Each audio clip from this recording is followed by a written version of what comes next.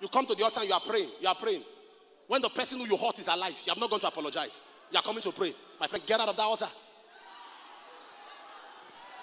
You broke a girl's heart. You promised her marriage. You didn't marry her. She's still alive. She's still breathing. Then you are going to cry to God that your, your own marriage, now you don't have children. You don't have this. You don't have that. God said, Why will you have children when you made somebody else's child cry? Go and apologize to that person first before you come back to pray. Stop breaking people's hearts and making peace with God. Meanwhile, the people are still alive.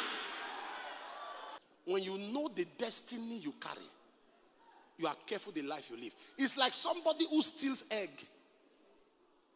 If you steal egg, you don't put it in your front pocket.